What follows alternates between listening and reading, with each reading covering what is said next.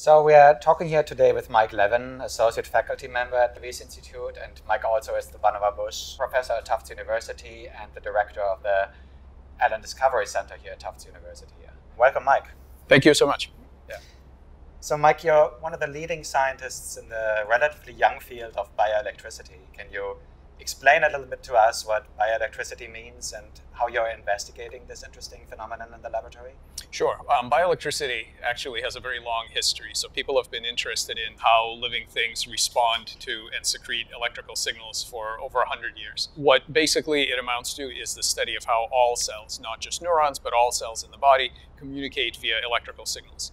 And my lab in particular is looking at not only the mechanisms by which cells receive and transmit electrical signals, but how networks of these kinds of cells form electrical networks for information processing.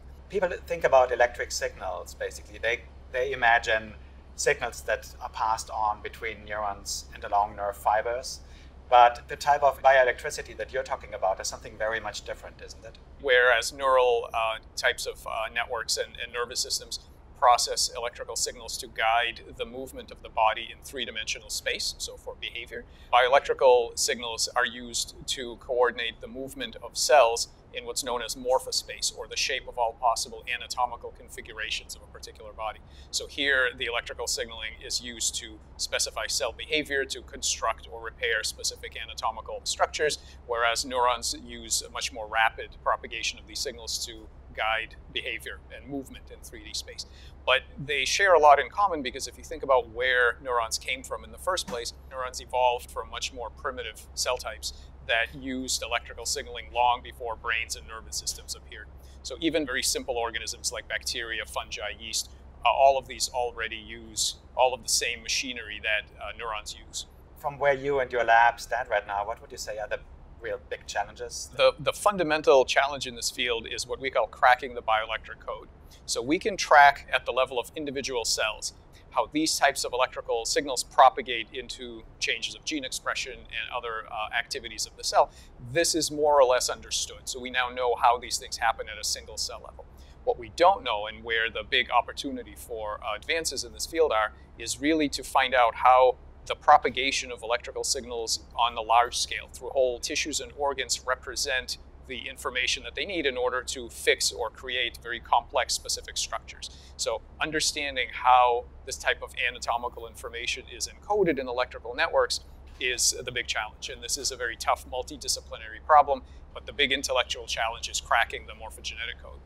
What are the kind of model organisms that you're using in the laboratory and why do you pick those? Mm. We have a, a, section of our, uh, of our team works on what's called primitive cognition. So it's the way that very simple organisms without uh, nervous systems are able to make decisions, store memories. We are looking at the very evolutionary beginnings of the integration of brain and body. And so for these purposes, we use bacteria and we use slime molds, and we have uh, some ciliates known as volvox, we have, uh, of course, frog embryos we use quite a bit, uh, planaria, flat regenerative flatworms. So these are flatworms. They're fairly complex organisms. They have many different cell and tissue types. They have a true brain, most of the same neurotransmitters that you and I have, and they are able to regenerate every part of the body. So when they are injured, every fragment of the animal can regrow exactly what's needed, no more, no less. So if a worm can be cut into multiple different pieces, every piece regenerates everything it needs and rescales so that you have a perfect tiny little worm. And this is simply an amazing uh, capacity. But even beyond planaria, even complex uh, vertebrates like frogs have an ability to repair uh, some complex structures. So, for example, tadpoles with abnormal faces will eventually metamorphose into frogs with pretty normal faces. And this ability to build a specific anatomical structure from different starting conditions and stop when it's finished is one of the big open problems of developmental biology and regenerative today. So bioelectricity or electricity in general was seen in the past often as the spark of life. Like if you imagine the story of Frankenstein, for instance, how does this relate to the to the to the, the vast popularity of genetics and um, biochemical approaches that then took over basically in history? Yeah, so so I think it's fair to say that bioelectricity and bioelectric properties are the spark of life because bioelectric states are only present as long as the cell is alive when the cell and tissue are alive, uh, they have a bioelectric potential between the inside and the outside, And as soon as that potential collapses, the cell is dead, which is exactly why molecular genetics and, and biochemistry have taken over in recent decades because bioelectricity cannot be done in fixed tissue. So the minute your tissue is fixed or it is uh, dissociated into molecules for various kinds of analysis, you can do transcriptomics, proteomics. You can you can profile the molecules in the cells and tissues that have been completely dissociated. But bioelectricity isn't like that. It can only be done in the living state.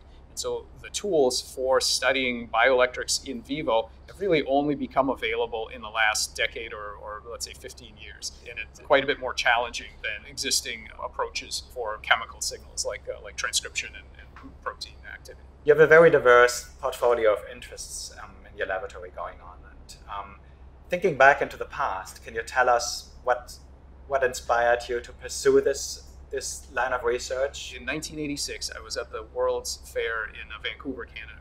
I was in a uh, in a used bookshop, and I found this book by Robert Becker called The Body Electric.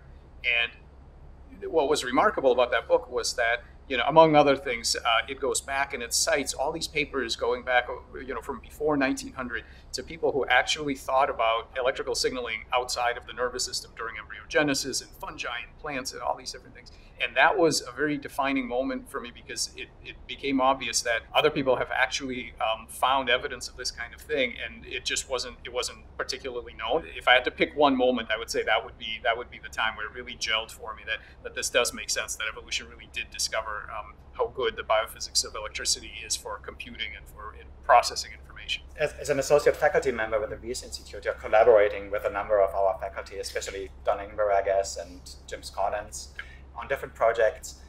What makes these projects, in your mind, interesting? Yeah, my involvement in the Wyss research uh, programs are um, is, is incredibly uh, interesting to me because there's so much going on there, and in particular, we found some very important uh, in interplay between signals that are emerging from the brain and bioelectrical signals from the rest of the body that govern immunity. And this is this has been very interesting to us. The most recent project with uh, uh, with Don and, and uh, Richard Novak concerns biostasis and the idea that we might be able to slow biological time.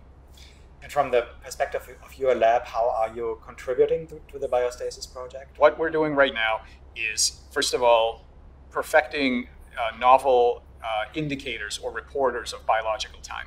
So new fluorescent constructs that report either cell cycle or calcium signaling or metabolic uh, activity, different different ways to visualize biological time in uh, the frog embryo. Aside from that, we're also testing several uh, really interesting candidate compounds that, that we have uh, come up with that are potential stasis inducers and potential ways to slow down biological time.